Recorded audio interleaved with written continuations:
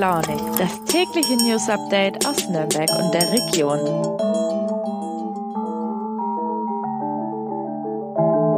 Hallo zusammen und willkommen zu Früh und Launig heute am Mittwoch, den 25. Mai. Bargeldloses Zahlen wird immer beliebter, ein Trend, der sich vor allem auch durch die Corona-Pandemie verfestigt hat.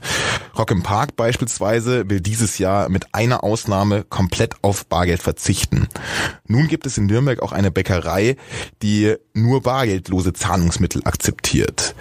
Mit Sabine Ebinger habe ich darüber gesprochen, wie die Kunden der Bäckerei dies annehmen und ob das ein Modell für die Zukunft ist. Außerdem habe ich mit Irini Paul über das Nürnberger Müllproblem geredet. In der Corona-Pandemie hat sich die Situation verschärft. Aber auch jetzt, wo wir so langsam zur Normalität zurückkehren, bleibt das Müllproblem im öffentlichen Raum weiter bestehen. Zudem habe ich mit unserem Polizeireporter Alexander Brock über die für Nürnberg geplante Polizeifahrradstaffel geredet. Was für einen Nutzen hätte sie für die Stadt?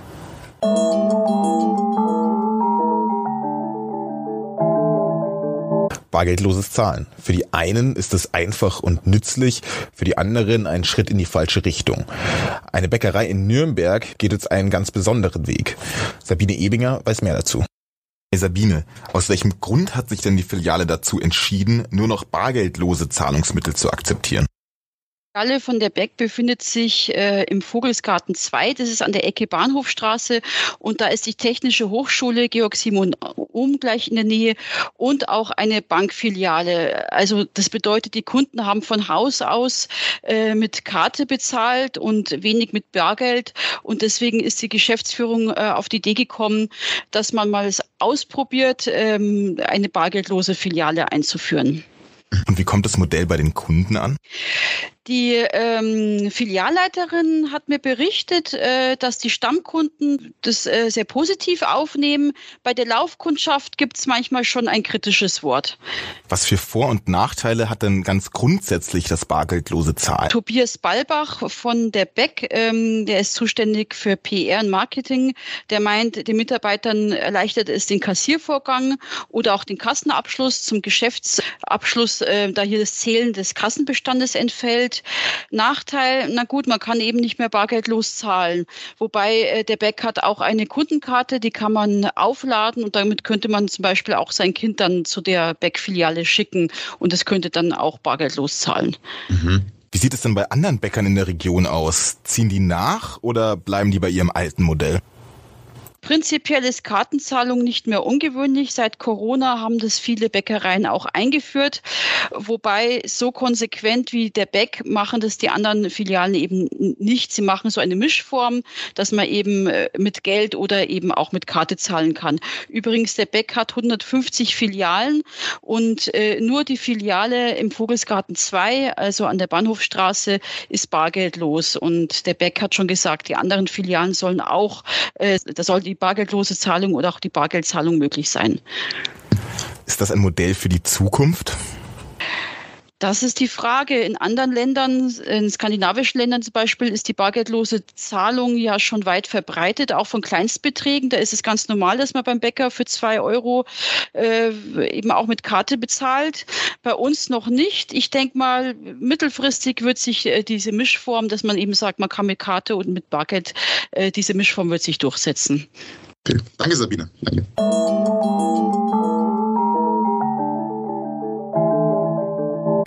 Städte haben oftmals ein Müllproblem im öffentlichen Raum. Auch in Nürnberg sieht es nicht viel besser aus.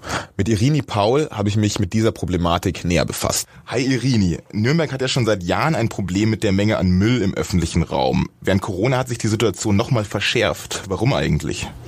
Das lag vor allem daran, dass es ja ein Bewirtungsverbot für die Gastronomie gab. Also die Leute konnten weder in die Kneipe noch ins Café oder ins Restaurant gehen und dann haben sich einfach die Leute ähm, ja ins Freie verzogen, sind in die Parks gegangen und haben da eben ihre mitgebrachten ähm, Pizzas oder Kaffees einfach ko ähm, konsumiert und haben aber oft genug dann leider ihren Müll auch zurückgelassen. Das Ergebnis hat man dann vor allem nach den Wochenenden gesehen und das ist vor allem in den Sommermonaten deshalb auch schwierig, weil die Parks in dieser Zeit ohnehin stark frequentiert sind. Mhm.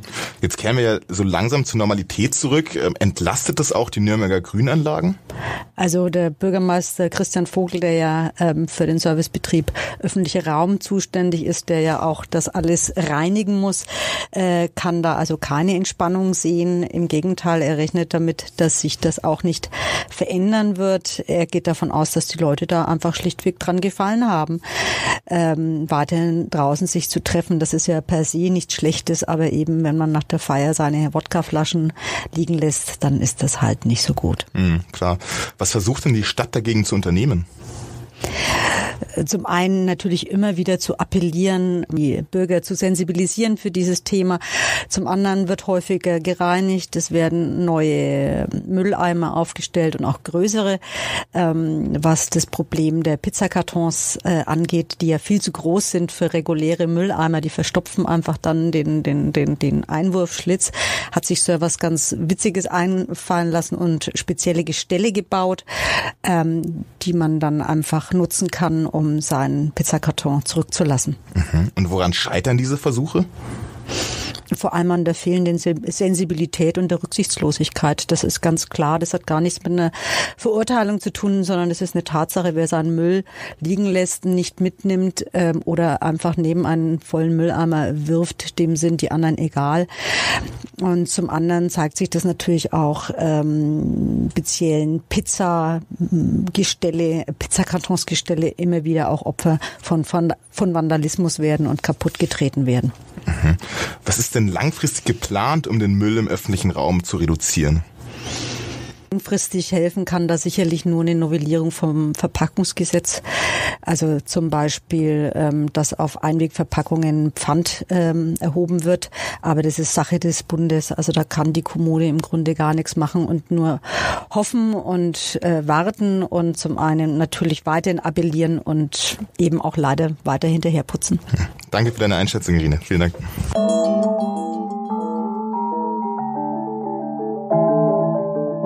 Die Nürnberger Polizei will sich an einer sogenannten Fahrradstaffel ausprobieren. Was es damit auf sich hat, darüber habe ich mit unserem Polizeireporter Alexander Brock gesprochen. Servus Alexander. Hi. Andere Städte wie Berlin oder Hannover haben schon vorgemacht. Nun soll auch Nürnberg eine Polizeifahrradstaffel bekommen. Für wann ist denn der Start geplant und was für einen Nutzen hofft man sich daraus zu ziehen? Ja, also zunächst einmal muss man sagen, dass es, ähm, dass die Pilotprojekte jetzt starten. Ähm, die Fahrradstaffel selber, das wird man dann sehen, was danach bei dem Pilotprojekt rauskommt. Aber die Zeichen stehen, denke ich, ganz gut. Ein Jahr wird es dauern und äh, und also München hat ein Pilotprojekt, das ist im äh, April losgegangen und äh, Nürnberg zieht jetzt nach. Geplant, das angedacht ist äh, der 1. Juli. Da soll dann äh, die Fahrradstaffel oder der Pilot, das Pil Pilotprojekt dann starten. Mhm. Und was, was bringt es? Was will, was will man dadurch erreichen? Also es ist so, dass mit Fahrrädern im Straßenverkehr, das sollte man vielleicht auch dazu sagen, dass die äh, Fahrradstaffeln, wenn dann in Metropolen, in Großstädten eine, eine Rolle spielen. Am äh, flachen Land draußen wirst du, äh, wirst du nicht viel erreichen können. Das sind die Distanzen halt ganz anders. Aber es bringt in der Stadt insofern was, weil die Fahr mit Fahrrädern bist du einfach wendiger. Du bist äh, durchaus auch schneller im Stau, im Straßenverkehr und ähm, bist, äh, die Polizei ist einfach auch wahrnehmbarer. Also die die kann man ansprechen, ist bürgernäher. Und äh, das ist, denke ich, auch der Hauptgrund. Es hat auch einfach, mh, hm, ja, es ist ein Sympathieträger, das Fahrrad genauso wie das Pferd bei der Reiterstaffel. Mhm. Es gibt aber auch Kritik gegen das Vorhaben. Was spricht denn dagegen? Also im Kern spricht eigentlich nicht allzu viel dagegen.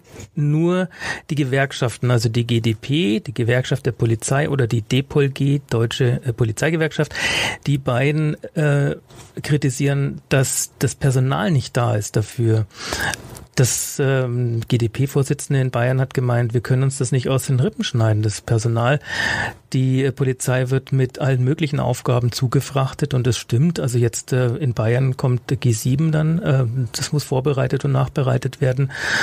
Äh, die Digitalisierung, äh, zig Aufgaben jetzt auch mit den äh, Flüchtlingen aus der Ukraine oder nehmen wir die Pandemie, das sind, äh, da gab es auch die Nachverfolgungen, die, äh, die saßen die teilweise viele äh, Polizei Polizeibeamte auch in den Gesundheitsämtern und haben da äh, mitermittelt. Das sind alles so zusätzliche Aufgaben, die gekommen sind. Und ja, die GDP beispielsweise, die fordert, dass, äh, dass also einmal im Jahr äh, mindestens 500 Stellen bei der bayerischen Polizei zusätzlich geschafft werden. So könnte man das stemmen. Also immer jährlich bis zum Jahr 2029. So lautet die Forderung. Mhm. Das bedeutet sicherlich auch zusätzliche Kosten, oder? Ja, also umsonst gibt es das nicht. Ähm, die Kosten, klar, mit Neueinstellungen sowieso, aber auch die Materialkosten. Äh, Fahrräder, das werden nicht nur normale Fahrräder sein, es werden E-Bikes sein und E-Bikes, die gehen schon einmal ganz schön ins Geld. Ähm, die Ausrüstung, die Leute, also die Polizisten, die werden ja bei, ähm, bei Wind und Wetter draußen sein und es werden ganze Schichten sein, die die fahren und äh, die können sich da nicht ins warme Auto setzen. Das heißt, die brauchen dann entsprechende Ausrüstung, Helm, Jacke, äh, Hose und so weiter und das kostet auch einen Haufen Geld und ich meine, dass da auch, äh, dass 900.000 Euro da schon geflossen sind für die bereits bestehenden Fahrradstreifen. Das sind aber keine Staffeln in Bayern in verschiedenen äh, Direktionen oder Dienststellen. Da gibt es eben schon Fahrradstreifen. Aber das sind eben keine Staffeln, es ist keine feste Organisation. Mhm. Und wie geht's jetzt weiter? Ja, wie gesagt, also ein Jahr wird äh, der, der, das Pilotprojekt laufen, dann äh, guckt man sich äh, das Ergebnis an. Also in Hannover, Berlin und in anderen Städten, jetzt außerhalb von Bayern, wo es Fahrradstaffeln gibt, die haben alle positive Bilanzen gezogen und äh, mal schauen, wie es dann ausgeht, ob hier auch eine positive Bilanz gezogen wird. Ich hoffe es, weil ich finde, das steht der Polizei auch ganz gut, einfach ein bisschen mit dem Fahrrad unterwegs zu sein. Es äh, ist auch ein Perspektivwechsel. Vielleicht kommt dann da der ein oder andere Strafzettel noch dazu ähm, an Autos, die auf Fahrradwegen stehen. Ne? Danke, Alexander. Bitte, Danke. gerne. Das war's auch schon wieder für heute. Vielen Dank fürs Zuhören. Die Artikel packe ich euch wie immer in die Show Notes. Noch zur Information, die letzte Folge Früh und Launig erscheint morgen am Feiertag. Dafür erscheint am Freitag keine. Vielleicht hören wir uns morgen. Bis dahin, alles Gute. Ciao, ciao.